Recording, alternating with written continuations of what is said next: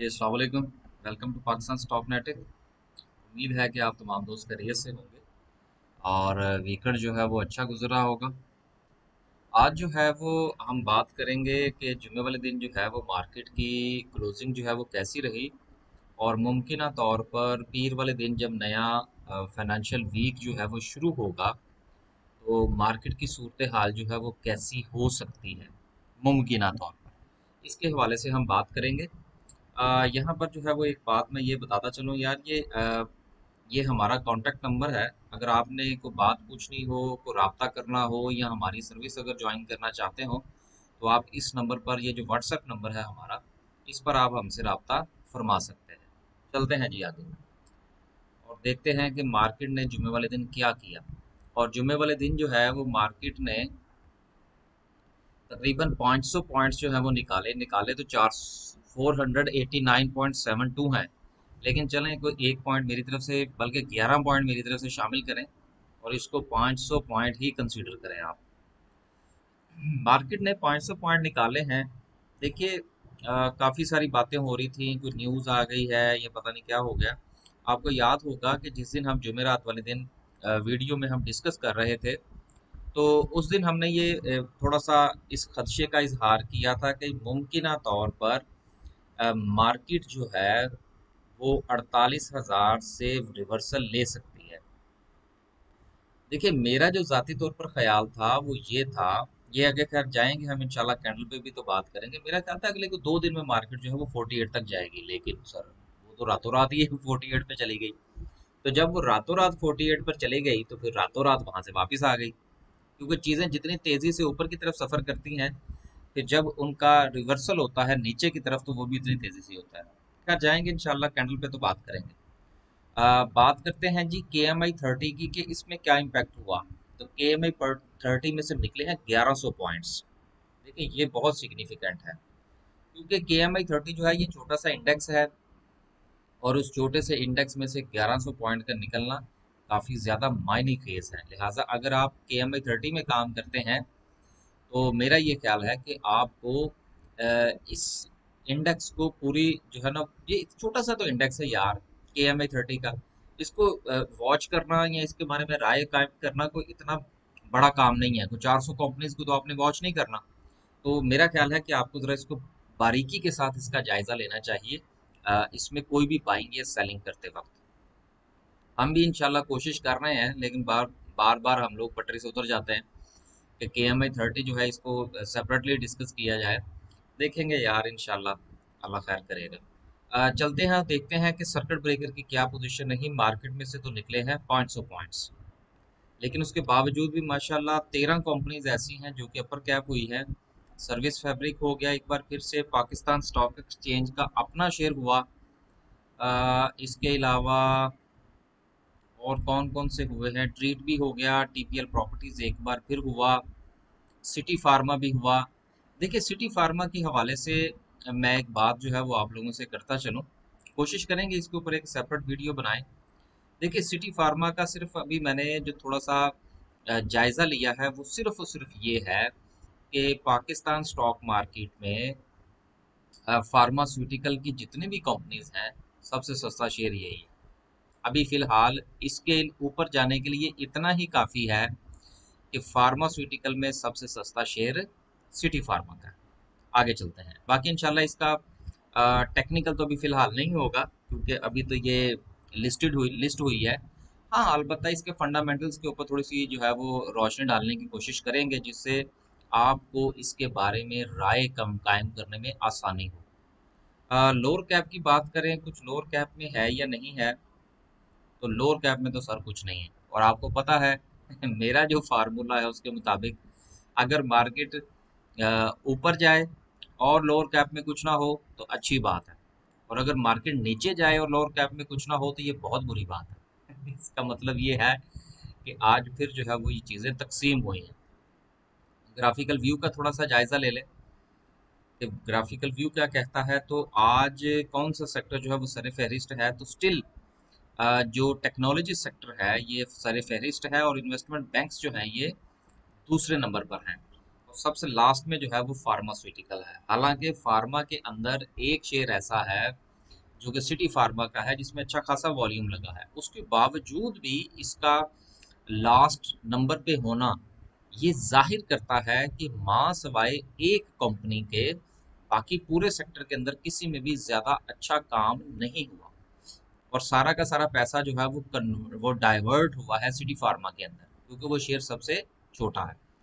आगे चलते हैं जी और देखते हैं कि टॉप टेन सिंबल्स को भी थोड़ा देख लें, फिर इंशाल्लाह आगे चलते हैं।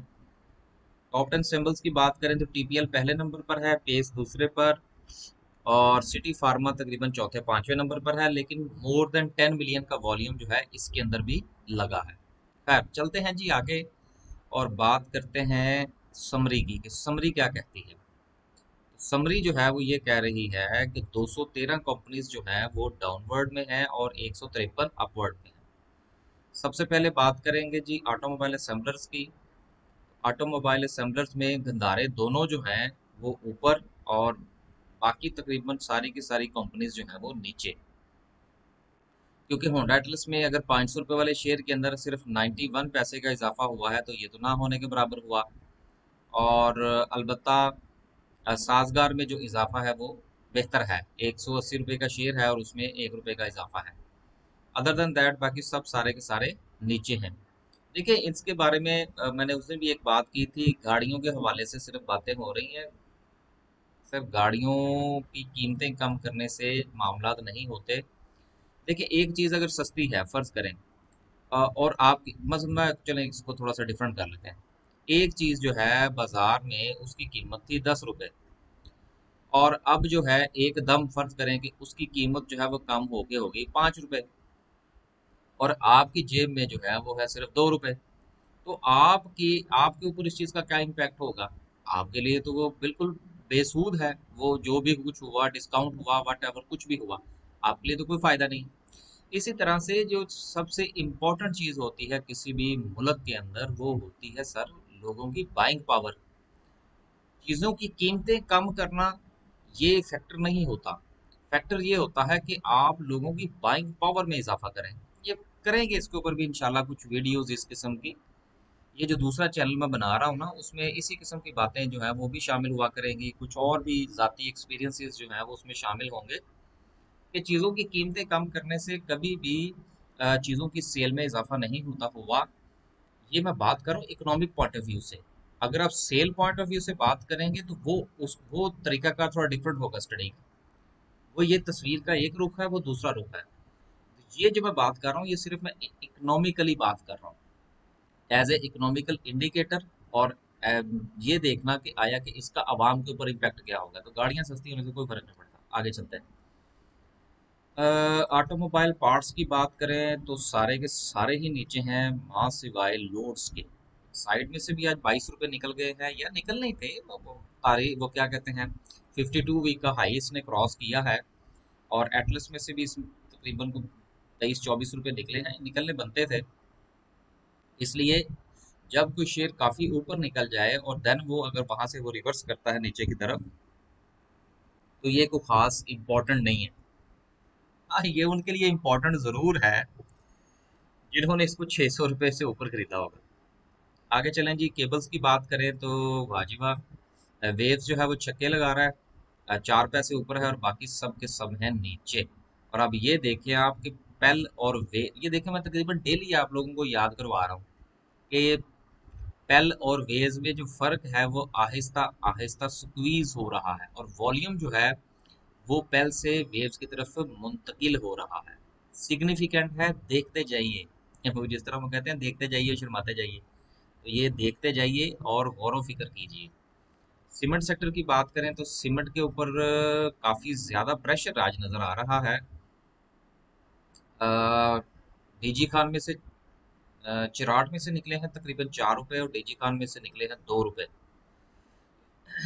देखिए, ये चार्ट जो है, ये काफ़ी अरसे से डिक्लाइन का शिकार नज़र आ रहा है। इसके ऊपर थोड़ा सा गौर करना चाहिए। मैंने नहीं किया अभी, लेकिन मैं इंशाल्लाह इसका चार्ट देखूँगा कि आया कि इसकी क्या रीज़न है। इसका चार्ट भी देखना चाहिए।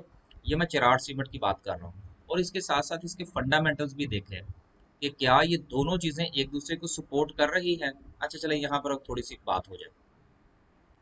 देखिए, जिस वक्त आप किसी शेयर को खरीदते हैं, और वो शेयर जो है टेक्निकली आपको लगता है कि इसको यहाँ से बाउंस बैक करना चाहिए।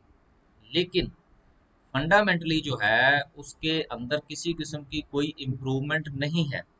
तो वहाँ से अगर शेयर का बाउंस बैक होता है अपवर्ड तो सर वो जो होगा, वो सस्टेनेबल नहीं होगा। जब तक किसी कंपनी के फंडामेंटल्स जो हैं, वो उसके टेक्निकल्स को सपोर्ट ना कर रहे हों तो ऐसे शेयर में से दिहाड़ी तो लगाई जा सकती है, लेकिन उसमें पोजीशन नहीं रखी जा सकती। मैं दोबारा फिर रिपीट कर दूँ। अगर किसी भी शेयर का फंडामेंटल उसके टेक्निकल को सपोर्ट ना करे तो उस शेयर से अवॉइड करना ही बेहतर है। लेकिन अगर आप फिर भी उसके अंदर ट्रेड करना चाहें तो उसके अंदर आप बिल्कुल समझ लें कि कोई डे ट्रेड टाइप चीज़ या कोई दो तीन दिन वाली ट्रेड चीज़ कह लें इस तरह का कोई काम कर सकते हैं, लेकिन आप उसमें पोजिशनल ट्रेड नहीं कर सकते, इसलिए कि सर उसके नीचे कुछ नहीं है। तो जब नीचे कुछ नहीं है तो वो किसी भी वक्त वापस गिरेगा। तो ये बात शुरू हुई थी चिराट सीमेंट से। ये चिराट सीमेंट जो है, ये गुजशत काफ़ी दिनों से मैं देख रहा हूँ कि ये लगातार नीचे की तरफ़ इसका मुँह है। तो देखना ये होगा कि आया कि इसके नीचे आने का, नीचे आने की भी वजह यही होती है।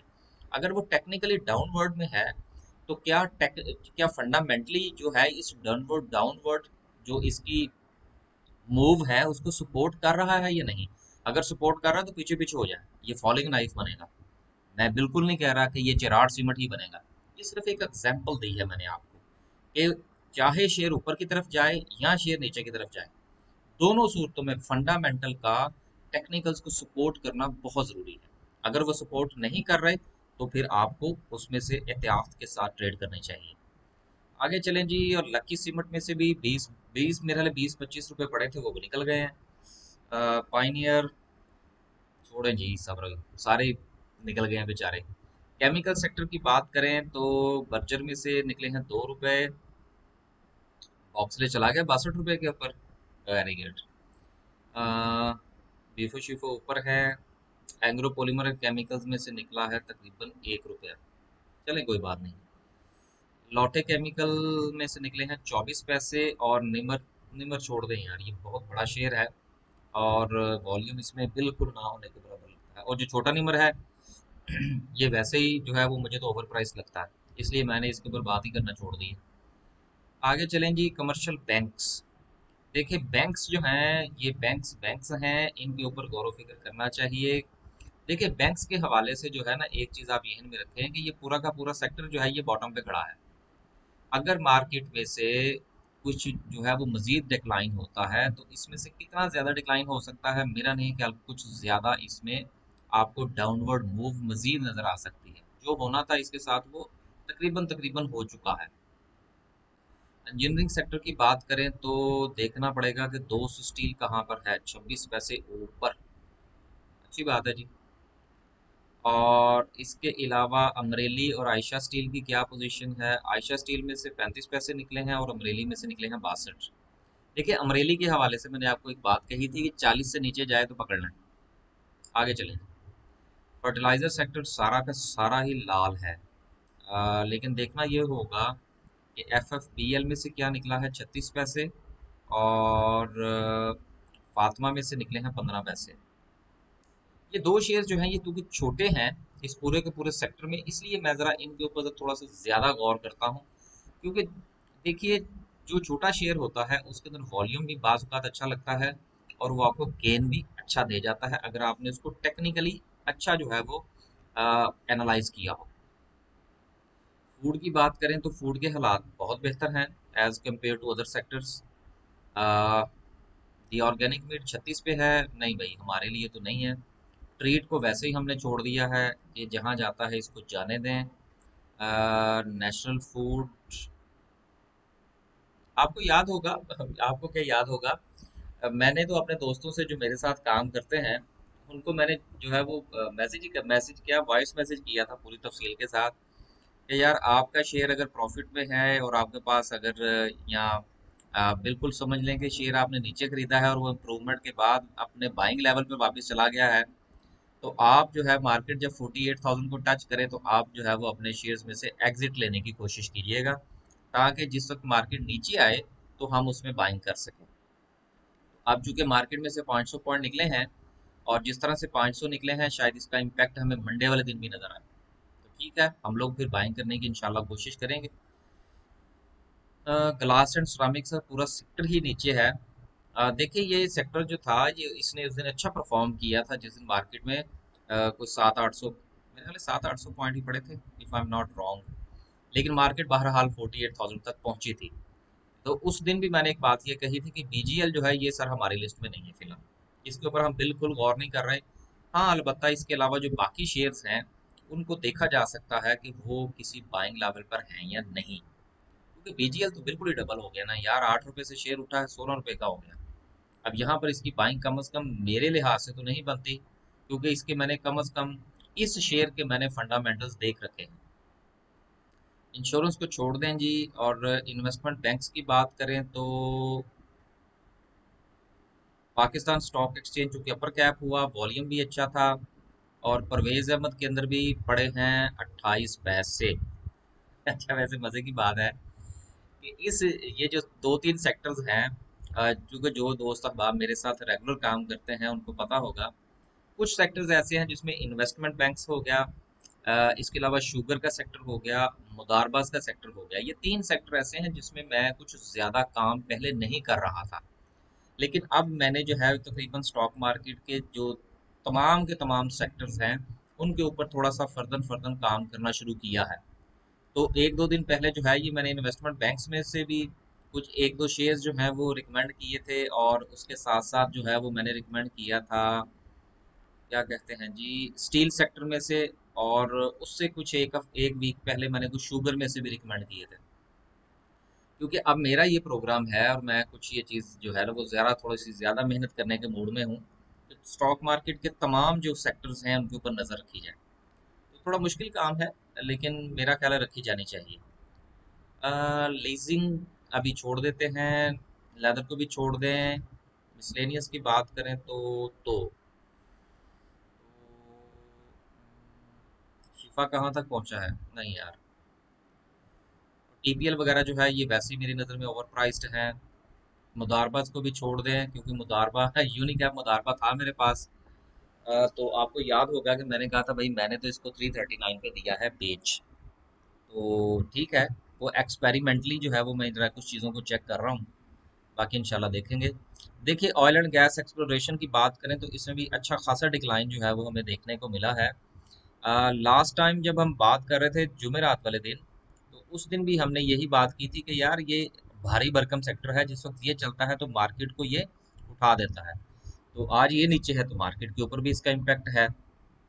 और ये दोनों सेक्टर पूरे के पूरे ऑयल एंड गैस मार्केटिंग का और एक्सप्लोरेशन का। अच्छा खासा डिक्लाइन जो है वो इसके इनके अंदर जो है वो नज़र आ रहा है। हाईटेक लुब्रिकेंट में से काफ़ी माल निकल चुका है।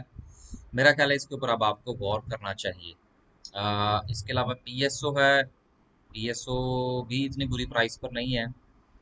हम्म, बस ठीक है दो ही काफ़ी है। पेपर एंड बोर्ड की बात करें तो सबसे ज़्यादा जो डिक्लाइन नज़र आ रहा है वो किसमें है? वो पैकेजेस में है। बड़ा शेयर है। अवॉइड ही करना चाहिए यार, जो हालात चल रहे हैं ना इस वक्त। तो छोटा शेयर देखेंगे, लेकिन बहरहाल मैरियट को नहीं देखेंगे जब तक ये सोलह रुपये से नीचे नहीं आता। फार्मास्यूटिकल की बात करें तो सबसे ज़्यादा जो है आज इस सिटी फार्मा के अंदर वॉल्यूम भी लगा अपर कैप भी हुआ, और सबसे छोटा शेयर इस वक्त यही है। तो आप भी इसके बारे में गौर फरमाइएगा। बाकी एजीपी से दूर रहिए। और सरल जो है इसमें से चार रुपए निकले हैं। इसको देखते हैं जी ये नीचे कहाँ तक जाता है, इंशाल्लाह। पावर डिस्ट्रीब्यूशन की बात करें तो पाकजिन पावर में से आठ पैसे निकले हैं, निषाद पावर जो है वो चार पैसे ऊपर रहा, निषाद जूनिया में से बीस पैसे निकले हैं।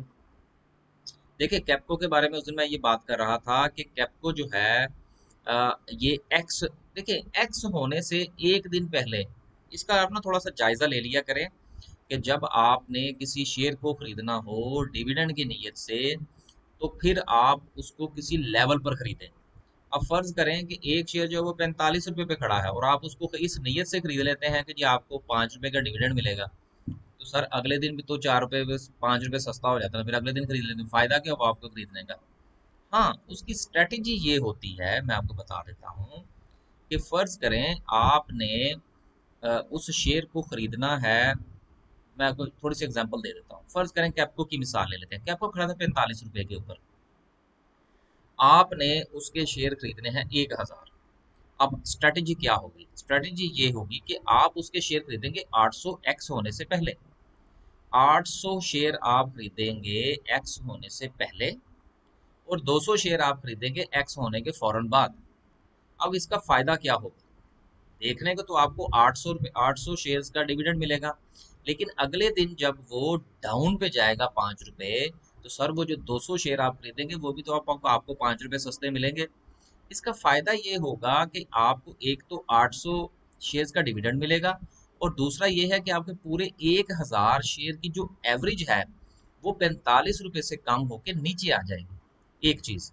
और दूसरी चीज़ ये होगी चूँकि उसमें से पाँच रुपये निकले होंगे और जब वो अगले दिन खुलेगा तो वो पैंतालीस रुपये वाला शेयर जो पाँच रुपये का डिविडेंड दे रहा है, सर, वो एक डेढ़ रुपया ऊपर जाएगा।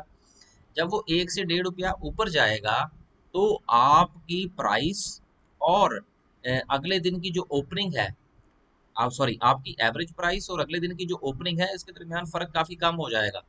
तो ये थोड़ी सी टेक्निक को समझने की कोशिश किया करें। बाकी फिर कभी, इंशाल्लाह, इसके ऊपर आप कभी कुछ टेक्निकल सवाल भी इस तरह का किया करें ना, बजाय इसके कि ये पूछ लें कि जी शेयर बता दें, कुछ इस तरह की बातें भी पूछा करें, कुछ स्ट्रेटजीज पूछा करें ताकि उसके ऊपर वीडियो बनाई जा सके।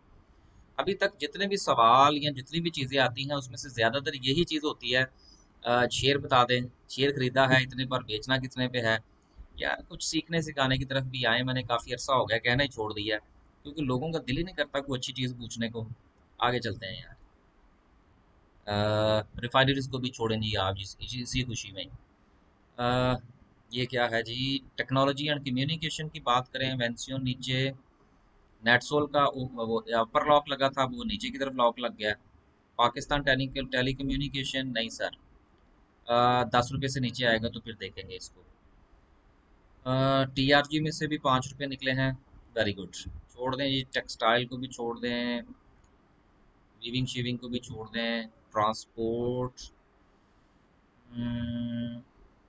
ट्रांसपोर्ट को भी छोड़ ही दें। फ्यूचर कॉन्ट्रैक्ट्स को भी छोड़ें, जी। आगे चलते हैं और बात करते हैं कैंडल की। देखिए लास्ट टाइम जब हमने इसको डिस्कस किया था, उस दिन तो हमने ये बात की थी कि जी, मुमकिन तौर पर हमें जो चीज़ नज़र आ रही है, वो ये है कि मार्केट जो है, ये इसका अड़तालीस हज़ार का लेवल है। मार्केट यहाँ तक हमें जाती हुई नज़र आ रही है। अगर यहाँ तक जाती है तो वहाँ वहाँ तक वहाँ से इसके रिवर्सल के चांसेस हो सकते हैं। तो बहरहाल हम ये तो नहीं कहेंगे कि हमारी कहने की वजह से ऐसा हुआ। बस एक चीज़ हमें थी कि थोड़ा सा आ, हमें इस चीज़ का अंदाज़ा था उसके मुताबिक रिज़ल्ट आया। क्योंकि मैं हमेशा आपसे एक बात कहता हूँ कि यार स्टॉक मार्केट जो है ना ये कोई जादू की छड़ी नहीं है। या ये कोई मैथमेटिक्स की किताब नहीं है जिसमें हमेशा दो जमा दो चार ही होते हैं। सर इसमें बाज़ दो जमा दो आठ भी हो सकते हैं। और बाज़ दो जमा दो ज़ीरो भी हो सकते हैं। तो इसलिए स्टॉक मार्केट जो है, ये चलती है हिस्ट्री के पॉइंट ऑफ़ व्यू से। इसमें सिर्फ़ एक चीज़ नहीं होती कि बाइंग क्या हुई और सेलिंग क्या हुई। इसमें सेंटीमेंट होता है, इसमें इकोनॉमिकल सिचुएशन होती है, इसमें इकोनॉमिकल इंडिकेटर्स होते हैं, इसमें जो आपका पीस है, जो मुल्क की सूरत हाल है लॉ एंड ऑर्डर की सिचुएशन है हर चीज़ को आपको फैक्टर इन करना पड़ता है। यहाँ तक कि आपको वेदर की कंडीशन को भी फैक्टर इन करना पड़ता है। कि वेदर कंडीशन क्या चल रही है? पाकिस्तान जैसे मुल्क के अंदर आपको वेदर कंडीशन को भी फैक्टर इन करना पड़ता है स्टॉक मार्केट में स्टॉक्स को एनालाइज करने के लिए। तो ये सिर्फ़ किसी एक बुनियाद पर डिसीज़न नहीं होता। बहरहाल, इस वक्त जो मार्केट की सिचुएशन है मार्केट ने जहाँ से बाउंस बैक लिया था, वो तकरीबन फोर्टी सेवन थाउज़ेंड का लेवल था। तो अब भी जो सिचुएशन है वो भी फ़िलहाल फोर्टी सेवन तक सौ थाउज़ेंड तक तो जाती हुई नज़र आ रही है, लेकिन उससे नीचे जाती हुई नज़र नहीं आ रही। देखिए मार्केट की इतनी मूव के बावजूद भी अगर आप मुझसे ये पूछें कि इन द लॉन्ग रन जो है, क्या मार्केट का ट्रेंड जो है वो पॉजिटिव है या नेगेटिव है तो सर मेरा आज भी जवाब वही है नेगेटिव जब तक मार्केट एक सर्टन लेवल से ऊपर नहीं जाती, तब तक मार्केट का जो सेंटिमेंट है वो पॉजिटिव नहीं हो सकता।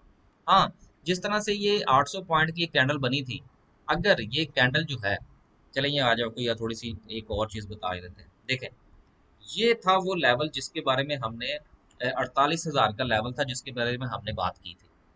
अब एक कैंडल बनी, अगले दिन अच्छी खासी स्ट्रॉन्ग कैंडल बनी, और उसने इस लेवल के बिल्कुल साथ जाके जो है ना वो आपको क्लोजिंग दे दी। अब अगर अगले दिन जो है, वो मार्केट के अंदर कैंडल जो है वो यहाँ पर बनती है। देन हम देन फिर भी हम ये नहीं कहेंगे कि मार्केट का जो है वो ट्रेंड पॉजिटिव हो चुका है। फिर भी यही कहा जाएगा कि market is going to positive आने के चांसेस है। लेकिन अगर मार्केट जो है वो अड़तालीस हज़ार सात सौ के ऊपर चलती है, यहाँ पर कैंडल देती है।